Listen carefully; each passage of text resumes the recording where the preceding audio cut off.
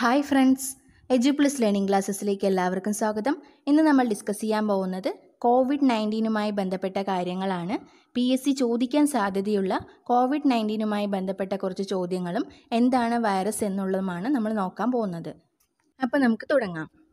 Virus എന്ന വാക്കിനർത്ഥം വിഷം എന്നാണ്. വൈറസ് കണ്ടുപിടിച്ചത് ദിമിത്രി ഇവാനോസ്കിയാണ്. ദിമിത്രി ഇവാനോസ്കിയാണ് വൈറസ് കണ്ടുപിടിച്ചത്. വൈറസ് എന്ന വാക്കിനർത്ഥം വിഷം എന്നാണ്. ഒരു ന്യൂക്ലിക് ആസിഡും അതിനെ പൊതിഞ്ഞ പ്രോട്ടീൻ ഷീത്തും അടങ്ങിയതാണ് വൈറസ് ഒരു ന്യൂക്ലിക് ആസിഡും അതിനെ പൊതിഞ്ഞ പ്രോട്ടീൻ ഷീത്തും അടങ്ങിയതാണ് വൈറസ് എന്ന് പറയുന്നത്. വൈറസിൽ പ്രത്യുൽപാദനം നടക്കുന്നത് ട്രാൻസ്ഡക്ഷൻ വഴിയാണ്.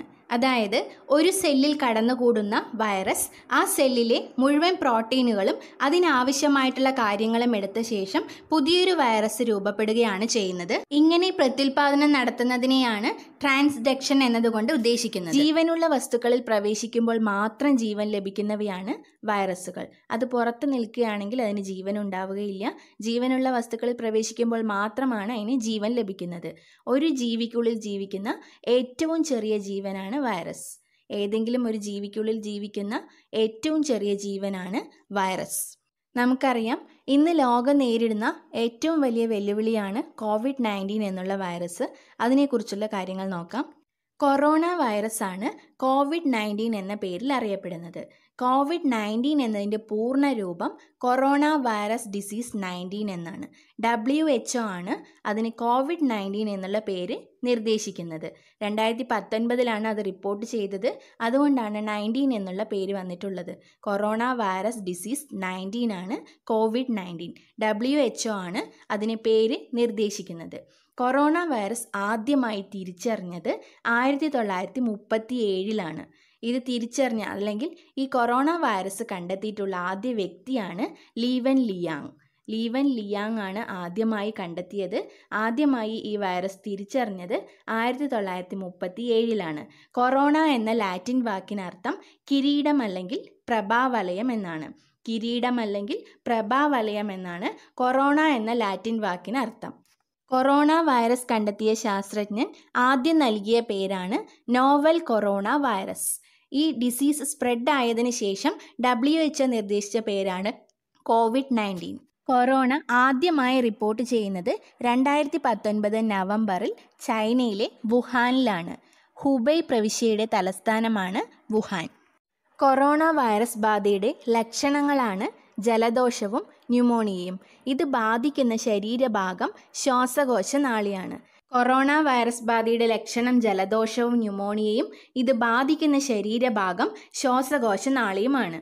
ശരീര സ്രവങ്ങളിലൂടെയാണ് കോവിഡ് നയന്റീൻ അല്ലെങ്കിൽ കൊറോണ വൈറസ് സ്പ്രെഡ് ആവുന്നത് നിലവിൽ മനുഷ്യരിൽ നിന്നും മനുഷ്യരിലേക്കാണ് ഈ വൈറസ് പടർന്നുകൊണ്ടിരിക്കുന്നത്. ഇതിന്റെ ഇൻക്യുബേഷൻ പീരീഡ് എന്ന് പറയുന്നത് പതിനാല് ദിവസമാണ്. അതായത് ഒരു ശരീരത്തിൽ പ്രവേശിച്ച വൈറസ് ഇരട്ടിച്ചിരട്ടിച്ച് അതിന്റെ ലക്ഷണങ്ങൾ കാണിച്ചു തുടങ്ങുന്നത് വരെയുള്ള പീരീഡാണ് ഇൻക്യുബേഷൻ പിരീഡ് എന്ന് പറയുന്നത്. വൈറസിന്റെ അല്ലെങ്കിൽ കോവിഡ് നയന്റീന്റെ ഇൻക്യുബേഷൻ പിരീഡ് എന്ന് പറയുന്നത് പതിനാല് ദിവസമാണ്. ഇന്ത്യയിൽ ആദ്യമായി കോവിഡ് നയന്റീൻ സ്ഥിരീകരിച്ചത് കേരളത്തിലാണ്. തൃശൂർ ജില്ലയിലാണ് ആദ്യമായി കോവിഡ് നയന്റീൻ സ്ഥിരീകരിക്കുന്നത്. ഡബ്ല്യു എച്ച് ഒ കോവിഡ് നയന്റീനെ മഹാമാരിയായി പ്രഖ്യാപിച്ചത് രണ്ടായിരത്തി ഇരുപത് മാർച്ച് പതിനൊന്നിനാണ്. രണ്ടായിരത്തി ഇരുപത് മാർച്ച് പതിനൊന്നിനാണ് വേൾഡ് ഹെൽത്ത് ഓർഗനൈസേഷൻ കോവിഡ് നയന്റീനെ മഹാമാരിയായി പ്രഖ്യാപിക്കുന്നത്. പാൻഡമിക് ഡിസീസാണ് മഹാമാരി എന്ന് പറയുന്നത്. ആഗോളതലത്തിൽ രോഗം മൂലം അടിയന്തരാവസ്ഥ പ്രഖ്യാപിച്ചത് ആറാം തവണയാണ്. ആഗോള അടിയന്തരാവസ്ഥ പ്രഖ്യാപിക്കാൻ കാരണമായ ആറാമത്തെ രോഗമാണ് കോവിഡ് നയന്റീൻ. ഇന്ത്യയിൽ ആദ്യ കോവിഡ് നയന്റീൻ മരണം സംഭവിച്ചത് കൽബുർഗി കർണാടക. കർണാടകയിലെ കൽബുർഗിയിലാണ് ആദ്യത്തെ കോവിഡ് നയന്റീൻ മരണം സംഭവിക്കുന്നത്. കൊറോണ വൈറസ് വ്യാപനം തടയാൻ കേരള ആരോഗ്യ വകുപ്പ് നടത്തുന്ന ക്യാമ്പയിനാണ് break the chain. Break the chain ആണ് ആരോഗ്യ വകുപ്പ് കൊറോണ വൈറസ് തടയുന്നതിന് വേണ്ടി നടത്തുന്ന ക്യാമ്പയിൻ ഏഷ്യയ്ക്ക് പുറത്ത് കൊറോണ ആദ്യം റിപ്പോർട്ട് ചെയ്തത് ഫ്രാൻസിലാണ്. ഫ്രാൻസിലാണ് ഏഷ്യയ്ക്ക് പുറത്ത് കൊറോണ ആദ്യമായി റിപ്പോർട്ട് ചെയ്യുന്നത്. കോവിഡ് നയന്റീനെതിരെ കണ്ടെത്തി എന്ന് പറയപ്പെടുന്ന ആദ്യത്തെ വാക്സിനാണ് എം ആർ എൻ എ ആയിരത്തി ഇരുന്നൂറ്റി എഴുപത്തി മൂന്ന് എം ആർ എൻ എ ആയിരത്തി ഇരുന്നൂറ്റി എഴുപത്തി മൂന്ന് എന്ന വാക്സിൻ മനുഷ്യരിൽ ആദ്യമായി പരീക്ഷിച്ച രാജ്യമാണ് അമേരിക്ക. ഈ വാക്സിൻ പരീക്ഷണത്തിന് സ്വമേധയാ എത്തിയ ആദ്യ മനുഷ്യനാണ് ജെനിഫർ ഹാലർ. കോവിഡ് നയന്റീനെതിരെ കണ്ടെത്തി എന്ന് അവകാശപ്പെടുന്ന വാക്സിനാണ് എം ആർ എൻ എ ആയിരത്തി ഇരുന്നൂറ്റി എഴുപത്തി മൂന്ന് ഈ വാക്സിൻ മനുഷ്യനിൽ ആദ്യമായി പരീക്ഷിച്ച രാജ്യമാണ് അമേരിക്ക. അതിനായി പരീക്ഷണത്തിനായി സ്വമേധിയ തയ്യാറായ മനുഷ്യനാണ് ജെനീഫർ ഹാലർ. കോവിഡ് നയന്റീൻ പടരാതിരിക്കാൻ നമസ്തേ ഓവർ ഹാൻഡ്ഷേക്ക് ക്യാമ്പയിൻ ആരംഭിച്ച സംസ്ഥാനം കർണാടക. കർണാടകയിലാണ് നമസ്തേ ഓവർ ഹാൻഡ്ഷേക്ക് ക്യാമ്പയിൻ ആരംഭിച്ചത്. കൊറോണ പശ്ചാത്തലത്തിൽ ഇന്ത്യയിൽ ജനതാ കർഫ്യൂ പ്രഖ്യാപിച്ചത് രണ്ടായിരത്തി ഇരുപത് മാർച്ച് ഇരുപത്തിരണ്ടിനാണ്.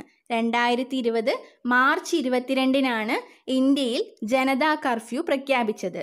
കൊറോണയെ തുടർന്ന് ആശങ്കയകറ്റാൻ ആരോഗ്യവകുപ്പിന്റെ നേതൃത്വത്തിൽ ആരംഭിച്ച കോൾ സെന്ററാണ് ദിശ ആയിരത്തി അമ്പത്തി ആറ് ദിശ ആയിരത്തി അമ്പത്തി ആറാണ് കൊറോണയെക്കുറിച്ചുള്ള ആശങ്കകൾ അകറ്റാൻ ആരോഗ്യവകുപ്പിന്റെ നേതൃത്വത്തിൽ ആരംഭിച്ച കോൾ സെന്റർ സാർക്ക് രാജ്യങ്ങളുടെ കൊറോണ അടിയന്തര നിധിയിലേക്ക് ഇന്ത്യ നൽകിയ സംഭാവന അല്ലെങ്കിൽ ഇന്ത്യയുടെ വിഹിതം എന്ന് പറയുന്നത് ഒരു കോടി ഡോളറാണ് ഒരു കോടി ഡോളറാണ് ഇന്ത്യ സാർക്ക് രാജ്യങ്ങളുടെ കൊറോണ അടിയന്തര നിധിയിലേക്ക് സംഭാവന നൽകിയത്.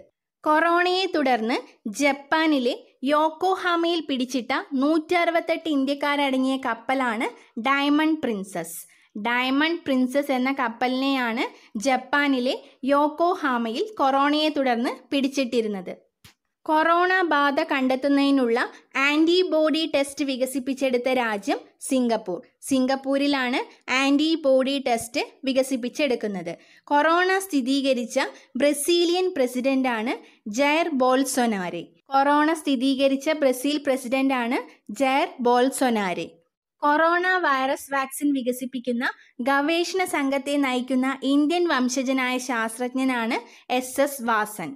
രണ്ടായിരത്തി ഇരുപത് മാർച്ചിൽ കൊറോണ പ്രതിസന്ധി നേരിടുന്ന രാജ്യങ്ങൾക്ക് പന്ത്രണ്ട് ബില്യൺ ഡോളർ സഹായം പ്രഖ്യാപിച്ചത് വേൾഡ് ബാങ്ക് ആണ് വേൾഡ് ബാങ്ക് കൊറോണ പ്രതിസന്ധി നേരിടുന്ന രാജ്യങ്ങൾക്ക് നൽകിയത് പന്ത്രണ്ട് ബില്യൺ ഡോളർ സഹായമാണ്. കൊറോണ വൈറസുമായി ബന്ധപ്പെട്ട വിവരങ്ങൾ നൽകുന്നതിന് കൊറോണ വൈറസ് ഇൻഫർമേഷൻ ഹബ്ബ് ആരംഭിച്ച സമൂഹ മാധ്യമമാണ് WhatsApp W H O UNICEF U N D P എന്നിവയുമായി ചേർന്നാണ് വാട്സപ്പ് ഈ ഹബ്ബ് ആരംഭിച്ചിട്ടുള്ളത്. കൊറോണ വൈറസ് വാക്സിൻ വികസിപ്പിക്കുന്ന ഗവേഷണ സംഘത്തെ നയിക്കുന്ന ഇന്ത്യൻ വംശജനായ ശാസ്ത്രജ്ഞനാണ് എസ് എസ് വാസൻ. രണ്ടായിരത്തി ഇരുപത് മാർച്ചിൽ കൊറോണ പ്രതിസന്ധി നേരിടുന്ന രാജ്യങ്ങൾക്ക് പന്ത്രണ്ട് ബില്യൺ ഡോളർ സഹായം പ്രഖ്യാപിച്ചത് വേൾഡ് ബാങ്കാണ്. കൊറോണ വൈറസ് ഇൻഫർമേഷൻ ഹബ്ബ് ആരംഭിച്ച സാമൂഹ്യ മാധ്യമമാണ് വാട്സപ്പ് കോവിഡ് നയന്റീൻ പ്രതിരോധ പ്രവർത്തനങ്ങൾക്കായി യു എൻ ഡബ്ല്യു എച്ച് എന്നിവരുമായി സഹകരിച്ച് ഇരുപത് മില്യൺ ഡോളറിന്റെ പദ്ധതി തയ്യാറാക്കിയ സോഷ്യൽ മീഡിയ കമ്പനിയാണ് ഫേസ്ബുക്ക്. ഇരുപത് മില്യൺ ഡോളറിന്റെ പദ്ധതിയാണ് ഫേസ്ബുക്ക് തയ്യാറാക്കിയത്. കോവിഡ് രോഗബാധയ്ക്കെതിരെയുള്ള ഡബ്ല്യു എച്ച് മരുന്ന് പരീക്ഷണത്തിൽ പങ്കെടുത്ത ആദ്യ അറബ് രാജ്യം ബഹ്റൈനാണ്. ബഹ്റൈനാണ് ഡബ്ല്യു എച്ച് മരുന്ന് പരീക്ഷണത്തിൽ പങ്കെടുത്ത ആദ്യ അറബ് രാജ്യം. മതപരമായ ഒത്തുകൂടലിനെ തുടർന്ന് കോവിഡ് നയന്റീൻ പടർന്നു പിടിച്ച രാജ്യമാണ് ദക്ഷിണ കൊറിയ. ദക്ഷിണ കൊറിയയിലാണ് മതപരമായ ഒത്തുകൂടലിനെ തുടർന്ന് കോവിഡ് നയന്റീൻ പടർന്നു പിടിച്ചത്. കൊറോണ വ്യാപനത്തെ തുടർന്ന് കേരളം സംസ്ഥാന ദുരന്തമായി പ്രഖ്യാപിക്കുകയും കേന്ദ്രം ദേശീയ ദുരന്തമായി പ്രഖ്യാപിക്കുകയും ചെയ്തിരുന്നു. കോവിഡ് നയന്റീനുമായി ബന്ധപ്പെട്ട മറ്റു കാര്യങ്ങൾ അടുത്ത വീഡിയോയിൽ ഉൾപ്പെടുത്തുന്നതായിരിക്കും. ഈ വീഡിയോ നിങ്ങൾക്ക് ഉപകാരപ്രദമായെന്ന് കരുതുന്നു. ഉപകാരപ്രദമാവുന്നുണ്ടെങ്കിൽ ലൈക്ക് ചെയ്യുക ഷെയർ ചെയ്യുക. തുടർന്നുള്ള വീഡിയോകൾ ലഭിക്കുന്നതിനായി സബ്സ്ക്രൈബ് ചെയ്യുക. നിങ്ങളുടെ അഭിപ്രായങ്ങളും നിർദ്ദേശങ്ങളും കമന്റ് ബോക്സിലിടാൻ മറക്കരുത്. താങ്ക്